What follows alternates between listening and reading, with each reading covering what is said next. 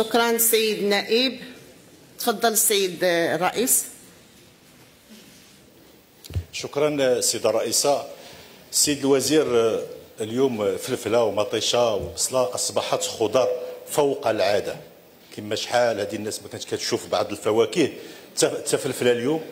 وصلت للثمن ديالها ملي كيشريها المواطن ولا كيحلها كيشوف واش عامرة بالكفتة ولا بشي حاجة أخرى. ما فائدة هذه المخططات سيد الوزير؟ إن لم تقدر أن تؤمن الأمن الغذائي للمغاربة. ما فائدة هذا المخطط إن لم تقدر الحكومة توفر هذه المواد باثمنه مناسبة. مخطط كان في عيون المغاربة أخضر لكن أسود في عيون الفقراء أخضر في عيون الشركات اللي كتصدر.